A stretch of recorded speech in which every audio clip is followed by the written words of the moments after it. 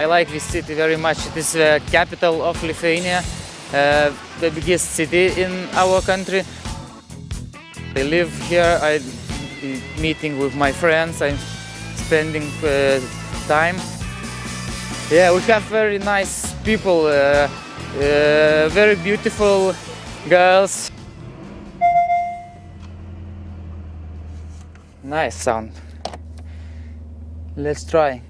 I'm a manager of company. This is our service, uh, service for Porsche cars. Uh, I'm the engineer uh, from uh, studying, so so I I I deciding I deciding uh, what is the problem of the car.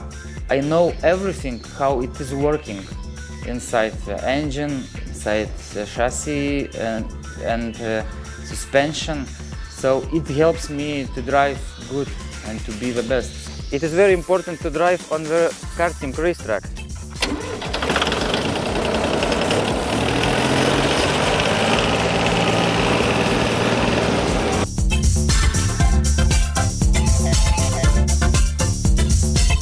You need for your blood, I think, uh, the adrenaline is you must have it because uh, if you don't have some time, so you're feeling not good. My hobbies, like I like I told, uh, is uh, one of them is uh, motocross bikes. We driving every weekend with my friends. Uh, in winter time, we are going on the lakes, on the ice. We're driving, and uh, in summertime we going to the forest, to the motocross tracks. Uh, have much of experience. Uh, I was driving Volkswagen Castrol Cup. I was driving in Porsche, Porsche Cups in Germany.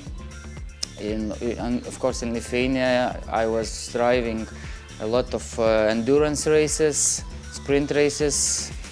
So I was not sitting uh, after last Volkswagen Castrol Cup. So I think will be difficult to another driver to beat me. Of course, I don't believe I know he's the best. Why? Because he is. It's no other questions. Driving uh, first season, second season of Volkswagen Castrol Cup, I saw that it is very interesting race. This engine is very powerful and uh, and uh, this small thing with push to pass, I think very interesting for drivers. Will uh, win not the fastest driver on the racetrack, will win smartest, I think. Hey drivers, you're waiting for fight, you will get it.